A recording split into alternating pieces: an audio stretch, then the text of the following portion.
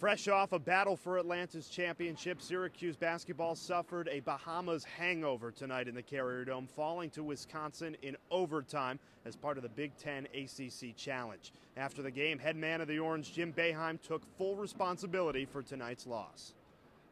You know, I really, this whole scheduling thing is my fault. You cannot go to the tournament like we did and come home and play Wisconsin, go play Georgetown. You know, I put the players in a terrible position. It doesn't go in, and you're going to have to find different ways to win.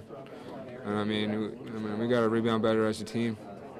Uh, moving forward, especially against teams like like Wisconsin. And it's frustrating missing the shot. Period. Uh, uh, free throws, layups, but I think free throws are something that should be 100% easy, and uh, just got to take our time and uh, make them.